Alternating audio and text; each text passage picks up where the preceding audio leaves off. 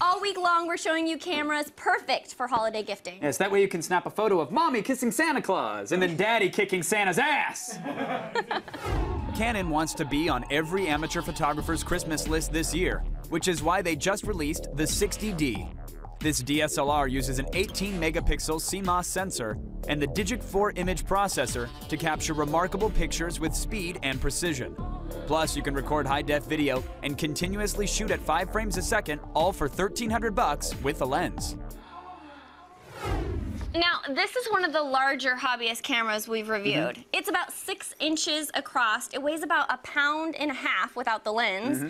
And the molded grip on the end is easy to carry. So, how do you like the overall design? It is. Uh, I think the grip does make it easy to carry. Um, this this little grip on the lens is great for quick uh, snaps for focus, and then the uh, the or uh, for zooming. I mean, and the focus ring is actually really nice. Uh, not in auto mode because then it clicks because you're going to break it. I should stop that.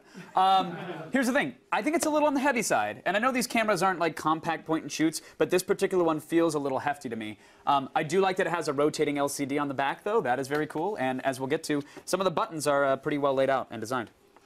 And is it easy to use? That's a little tease, little button tease.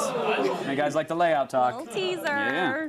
Is it easy to use for someone who's just started to make photography their hobby, or? Yes, for the most part. Um, the scroll wheel makes menus easy to navigate. You get dedicated buttons for things like delete, which you will a lot, and live view. Um, that's really helpful. It looks intimidating, I get that, but you'll get used to it at first and it'll stop hurting, so don't worry.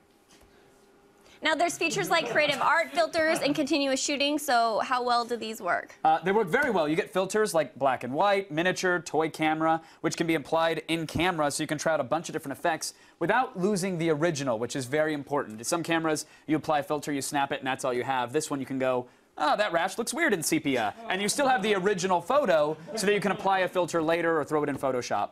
Um, you also get continuous shooting at 5.3 frames a second, which is actually a little slower than comparable cameras, but so are people that pl- play Frolf. Um, so they won't notice.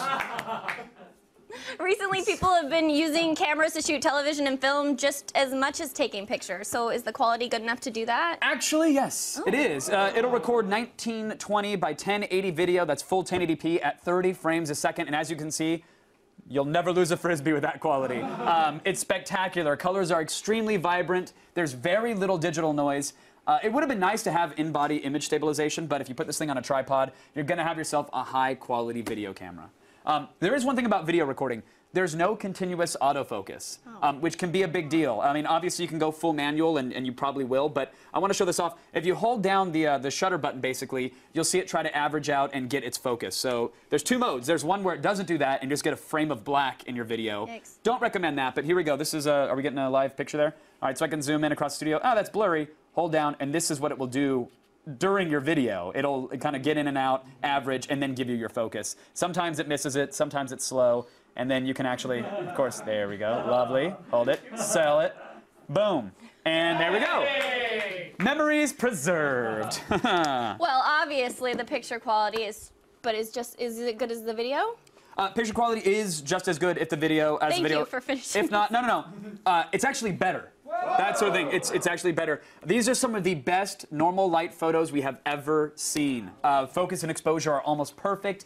Color accuracy and saturation are exactly what you want them to be, assuming you want them to be perfect. Uh, low light photos are also very good. They don't blur easily. Uh, and Cam- Canon's image sensor is fantastic at exposure, even in little to no light. I mean, look at that. That's that's great. And as you can see, when you're startling Asian MMA fighters, the flash exposes evenly, which is very important. It doesn't wash your subject out. So So it's a. thousand bucks for just the body, it is. and it's thirteen hundred bucks with the lens. Yeah, which is a good kit lens. Yeah. Yeah. Is it a buy or don't buy? It's a buy! Hey! It's one of the best cameras we've tested this entire year. It's definitely worth the price if you can afford it.